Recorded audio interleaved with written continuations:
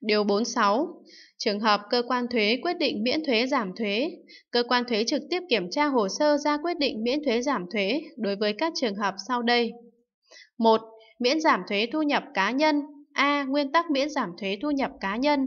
Đối với người nộp thuế gặp khó khăn do thiên tai, hỏa hoạn, tai nạn, bệnh hiểm nghèo, việc xét giảm thuế thu nhập cá nhân được thực hiện theo năm dương lịch. Đối với cá nhân kinh doanh, nhóm cá nhân kinh doanh nộp thuế thu nhập cá nhân theo phương pháp khoán, có tạm ngừng nghỉ kinh doanh. Việc xét giảm thuế khoán được thực hiện theo tháng ngừng nghỉ kinh doanh. Các xác định số thuế được giảm và thủ tục hồ sơ giảm thuế thực hiện theo hướng dẫn tại Điều 21 thông tư này. Đối với cá nhân thuộc đối tượng được miễn thuế giảm thuế thu nhập cá nhân theo quy định về chuyên gia nước ngoài thực hiện chương trình dự án ODA tại Việt Nam, chuyên gia nước ngoài thực hiện chương trình dự án viện trợ phi chính phủ tại Việt Nam, cá nhân nước ngoài làm việc tại văn phòng của tổ chức phi chính phủ, cá nhân làm việc tại khu kinh tế thực hiện thủ tục miễn thuế giảm thuế theo hướng dẫn riêng của Bộ Tài chính. B. Hồ sơ miễn thuế giảm thuế B1. Đối với người nộp thuế gặp khó khăn do thiên tai, hỏa hoạn Văn bản đề nghị giảm thuế theo mẫu số 18 MGT TNCN ban hành kèm theo thông tư này, có xác nhận của chính quyền địa phương cấp xã nơi xảy ra thiên tai, hỏa hoạn. Biên bản xác định mức độ, giá trị thiệt hại về tài sản của cơ quan có thẩm quyền và có xác nhận của chính quyền địa phương cấp xã nơi xảy ra thiên tai, hỏa hoạn theo mẫu số 02 MGTH ban hành kèm theo thông tư này. Cơ quan có thẩm quyền xác định mức độ giá trị thiệt hại là cơ quan tài chính hoặc các cơ quan giám định xác định mức độ giá trị thiệt hại về tài sản. Trường hợp thiệt hại về hàng hóa dịch vụ, người nộp thuế cung cấp biên bản giám định, chứng thư giám định về mức độ thiệt hại của cơ quan giám định và cơ quan giám định phải chịu trách nhiệm pháp lý về tính chính xác của chứng thư giám định theo quy định của pháp luật. Trường hợp thiệt hại về đất đai hoa màu thì cơ quan tài chính có trách nhiệm xác định. Chứng từ bồi thường của cơ quan bảo hiểm nếu có hoặc thỏa thuận bồi thường của người gây hỏa hoạn nếu có. Các chứng từ chi liên quan trực tiếp đến việc khắc phục thiên tai hỏa hoạn. Tờ khai quyết toán thuế thu nhập cá nhân nếu thuộc đối tượng phải quyết toán thuế. B2. Đối với người nộp thuế gặp khó khăn do bị tai nạn Văn bản đề nghị giảm thuế theo mẫu số 18 MGT TNCN ban hành kèm theo thông tư này. Văn bản hoặc biên bản xác nhận tai nạn có xác nhận của cơ quan công an hoặc xác nhận mức độ thương tật của cơ quan y tế. Giấy tờ xác định việc bồi thường của cơ quan bảo hiểm hoặc thỏa thuận bồi thường của người gây tai nạn nếu có. Các chứng từ chi liên quan trực tiếp đến việc khắc phục tai nạn Tờ khai quyết toán thuế thu nhập cá nhân nếu thuộc đối tượng phải quyết toán thuế. B3. Đối với người nộp thuế mắc bệnh hiểm nghèo, văn bản đề nghị giảm thuế theo mẫu số 18 MGT TNCN ban hành kèm theo thông tư này. Bản chụp hồ sơ bệnh án hoặc sổ khám bệnh. Các chứng từ chứng minh chi phí khám chữa bệnh do cơ quan y tế cấp hoặc hóa đơn mua thuốc chữa bệnh kèm theo đơn thuốc của bác sĩ Tờ khai quyết toán thuế thu nhập cá nhân nếu thuộc đối tượng phải quyết toán thuế. C. Nơi nộp hồ sơ miễn giảm thuế. Đối với người nộp thuế gặp khó khăn do thiên tai hỏa hoạn, tai nạn, bệnh hiểm nghèo, nơi nộp hồ sơ miễn giảm thuế là cơ quan thuế nơi cá nhân cư trú. 2. Miễn hoặc giảm thuế tiêu thụ đặc biệt, tiền thuê đất, thuê mặt nước, thuế sử dụng đất phi nông nghiệp, thuế sử dụng đất nông nghiệp cho người nộp thuế gặp khó khăn do thiên tai hỏa hoạn, tai nạn bất ngờ, theo quy định của pháp luật không có khả năng nộp thuế. Hồ sơ đề nghị miễn hoặc giảm thuế bao gồm Văn bản đề nghị miễn hoặc giảm thuế theo mẫu số 01 MGTH ban hành kèm theo thông tư này, trong đó nêu rõ thời gian, lý do bị thiệt hại, giá trị tài sản bị thiệt hại, số lỗ do thiên tai địch họa, tai nạn bất ngờ gây ra, số thuế phải nộp, số thuế đề nghị miễn giảm và danh mục tài liệu gửi kèm. Biên bản xác định mức độ giá trị thiệt hại về tài sản của cơ quan có thẩm quyền và có xác nhận của chính quyền địa phương cấp xã nơi xảy ra thiên tai hỏa hoạn, tai nạn theo mẫu số 02 MGTH ban hành kèm theo thông tư này. Cơ quan có thẩm quyền xác định mức độ giá trị thiệt hại là cơ quan tài chính hoặc các cơ quan giám định độc lập xác định mức độ giá trị thiệt hại về tài sản. Trường hợp thiệt hại về hàng hóa dịch vụ, người nộp thuế cung cấp biên bản giám định, chứng thư giám định về mức độ thiệt hại của cơ quan giám định và cơ quan giám định phải chịu trách nhiệm pháp lý về tính chính xác của chứng thư giám định theo quy định của pháp luật. Trường hợp thiệt hại về đất đai hoa màu để miễn giảm thuế sử dụng đất nông nghiệp, thuế sử dụng đất phi nông nghiệp thì cơ quan tài chính có trách nhiệm xác định bản quyết toán tài chính nếu là doanh nghiệp, kèm theo giải trình phân tích xác định số bị thiệt hại, số lỗ do bị thiệt hại. 3. Miễn giảm thuế tài nguyên đối với tổ chức cá nhân khai thác tài nguyên theo quy định tại Điều 9 Luật Thuế Tài nguyên. A. Hồ sơ miễn giảm thuế gồm Văn bản đề nghị miễn giảm thuế theo mẫu số 01 MGTH ban hành kèm theo thông tư này, biên bản xác định mức độ giá trị thiệt hại về tài sản Đối với trường hợp miễn giảm thuế tài nguyên do gặp thiên tai, hỏa hoạn, tai nạn bất ngờ của cơ quan có thẩm quyền và có xác nhận của chính quyền địa phương cấp xã nơi xảy ra thiên tai, hỏa hoạn, tai nạn theo mẫu số 02 MGTH ban hành kèm theo thông tư này. Cơ quan có thẩm quyền xác định mức độ giá trị thiệt hại là cơ quan tài chính hoặc các cơ quan giám định xác định mức độ giá trị thiệt hại về tài sản Trường hợp thiệt hại về hàng hóa, người nộp thuế cung cấp biên bản giám định, chứng thư giám định về mức độ thiệt hại của cơ quan giám định và cơ quan giám định phải chịu trách nhiệm pháp lý về tính chính xác của chứng thư giám định theo quy định của pháp luật. Trường hợp thiệt hại về sử dụng nước thiên nhiên thì cơ quan tài chính có trách nhiệm xác định các tài liệu liên quan đến việc miễn giảm thuế tài nguyên kèm theo B. Một số trường hợp miễn thuế tài nguyên không phải lập tờ khai thuế tài nguyên hàng tháng và quyết toán thuế tài nguyên năm. Tổ chức cá nhân hoạt động khai thác hải sản tự nhiên thuộc diện miễn thuế tài nguyên nước thiên nhiên dùng cho nông nghiệp, lâm nghiệp, ngư nghiệp, diêm nghiệp, nước thiên nhiên do hộ gia đình cá nhân khai thác phục vụ sinh hoạt. C. Thủ tục miễn thuế tài nguyên đối với một số trường hợp cụ thể như sau. Thủ tục miễn thuế đối với nước thiên nhiên dùng cho sản xuất thủy điện của hộ gia đình cá nhân tự sản xuất phục vụ sinh hoạt. Hộ gia đình cá nhân sử dụng nước thiên nhiên tự sản xuất thủy điện phục vụ sinh hoạt phải có đơn đề nghị miễn thuế kèm theo bản giải trình về thiết bị sản xuất thủy điện phục vụ cho sinh hoạt gia đình có xác nhận của Ủy ban Nhân dân cấp xã.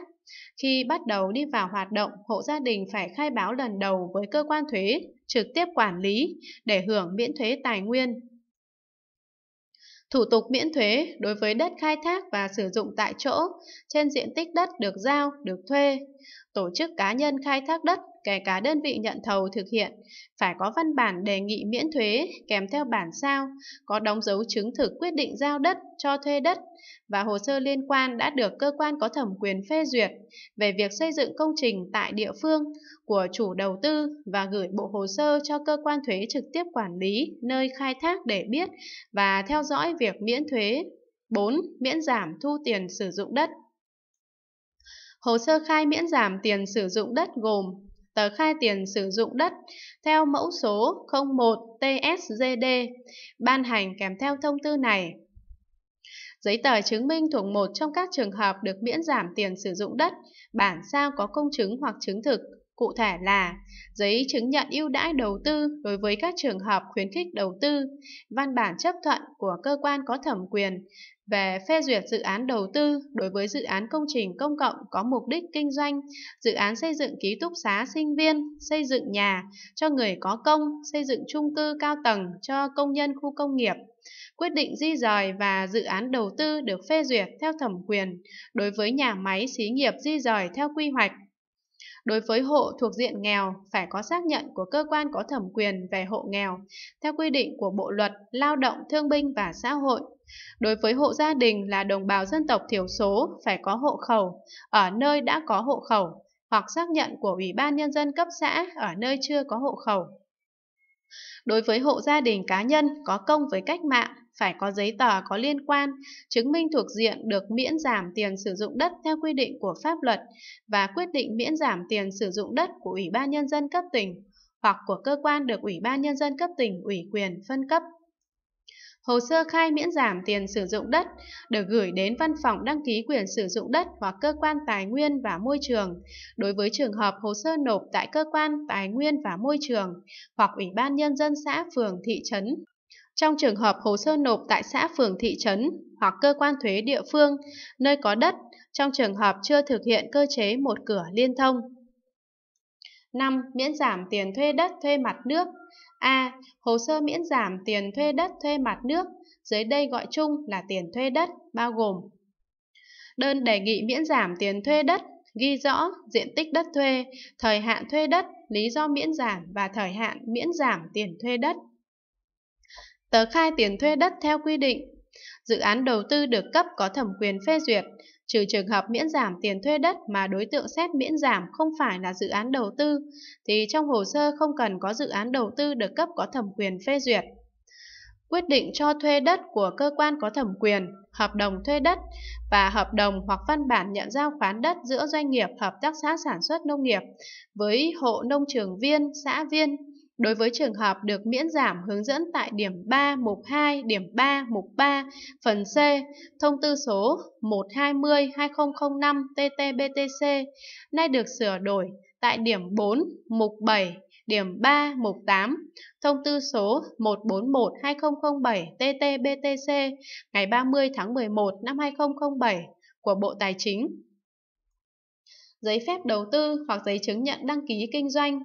giấy chứng nhận đầu tư do cơ quan nhà nước có thẩm quyền cấp. Trong trường hợp dự án đầu tư, phải được cơ quan nhà nước quản lý đầu tư ghi vào giấy chứng nhận đầu tư, hoặc dự án thuộc diện không phải đăng ký đầu tư nhưng nhà đầu tư có yêu cầu xác nhận ưu đãi đầu tư.